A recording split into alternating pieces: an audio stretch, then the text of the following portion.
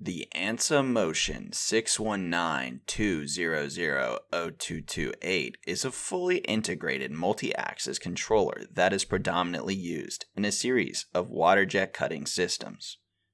The water jet system is a large system that cuts plate steel with high pressure water.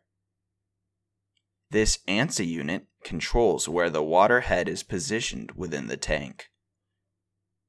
This specific unit is from a large tank system and has the operation water jet cooling system on the main power supply. This jacket was the primary issue as it had leaked into the main power electronics which led to a short causing corrosion. We completely disassembled the system, including the water jacket, and rebuilt everything from the ground up.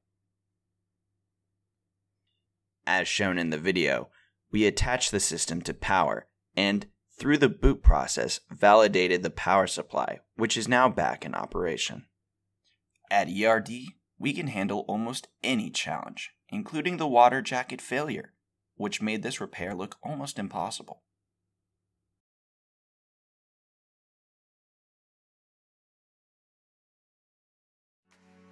Thanks for checking out the video.